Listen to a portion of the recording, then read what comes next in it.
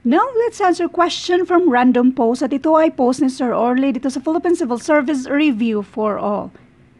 At ito ay regarding sa yung sa measure measure. Meron na tayong na-upload nito. I'm not sure kung the same ba yung question but anyway, sa video ito, sagutan natin ito. Kapag ganito yung given, meron tayong parallel lines at meron tayong isang linya dyan na nag-intersect dyan sa dalawang parallel lines na yan. Ito yung tandaan nyo. Itong si 2 and 4 at si 6 and 8 ay pariho yan sila. Next. Ito namang si 1 and 3, 5 and 7, pariho yung mga angles nila. Yan ang tandaan nyo. Now, dito tayo mismo sa problem. Basahin na natin. If the measure of angle 2 is 8x plus 10 and the measure of angle 6, ito si 6, is x, this is x squared kasi x2 na yan siya. So, for sure, this is x squared minus 38. What is the measure of angle 8? Ito yung tanong. Again, gaya ng sabi ko kanina, itong angle 2, 4, 6, 8. Pariho yan sila, equal. So therefore, itong 8x plus 10, that is equals to x squared minus 38. So ito na yung equation natin na isolve natin yung value ni x itong x squared, i-keep muna natin si x squared. Dito natin ilagay para may space tayo, x squared. Nandito yung equal sign natin. Next, ito namang si 8x. I-transfer natin sa kabila. Ano nga bang gagawin ko? Equate natin to 0 na lang lahat ito.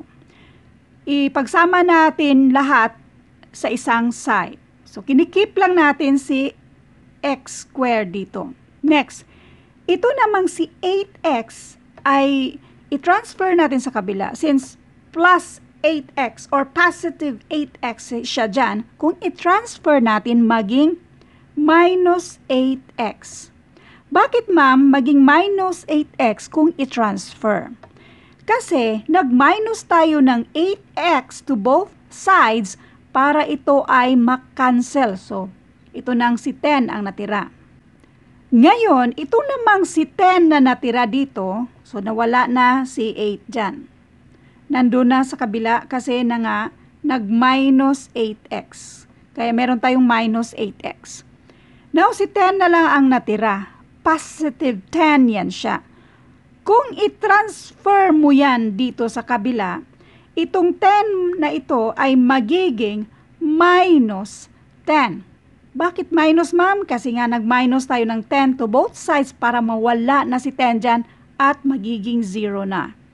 So ngayon, this is minus 38 minus 10.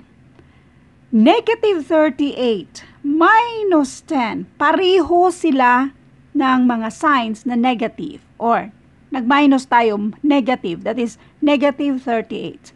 So this is equals, so i-add natin yan at kopyahin lang yung sign, negative 48. So instead na negative 38 or minus 38 minus 10, ang isulat natin dito ay negative 48. Ngayon, kung nalilito kayo dyan, i-search nyo lang ang unlike signs, tapos lagyan nyo yung pangalan natin na Leonalyn para ma-sort out yung mga na-upload na natin sa pag-add and subtract ng mga unlike signs. Kasi dapat huwag nyo yung kalimutan para pagdating sa mga ganitong problem, ganitong mga may geometry, meron tayong mix na algebra kasi meron tayong mga ganito, algebra man yan siya. So, huwag niyong kalimutan yung basic sa pag-solve ng unlike signs para, para pagdating dito sa mga geometry, ang problemahin nyo na lang ay kung paano siya gawa ng equation. So anyway, ang kakalabasan natin dito ay Itong 0, bali i-rewrite lang natin. 0 equals x squared minus 8x minus 48. Anong gagawin natin yan? I-factor out natin. Gawa natin ng bahay-bahay. x squared. So, dalawang x tayo dito. Parihong negative. So, sigurado tayong positive at negative yung operations natin dyan. Ang tanong kung ano yung mga numbers na ilalagay natin dito. Dito ka mag-focus sa 48. Yung 48, yung mga factors ni 48 in such a way na ang difference ay 8. Mga factors ni 48 na ang difference ay 8. 6 and 8. 48 yan siya. Pero ang difference dito ay 2. Ano pa bang mga factors dyan? Uh, meron tayong 3 and 16. Ang difference dyan ay 13. Meron tayong 2 at 24. Ang difference dyan ay 22. Pero meron tayong 4 and 12. Ang difference dito ay 8. So yan ang gamitin natin. Ngayon, this is negative 8. So, dapat yung pinakamalaking itong 12 na ito ay doon natin ilagay sa negative. So, this is negative 12. So, therefore, ang positive ay yung 4. So, ang sagot dito sa ating x squared, pagka-factor out, minus 8x, minus dito sa minus 48, and that is x plus 4 times x minus 12.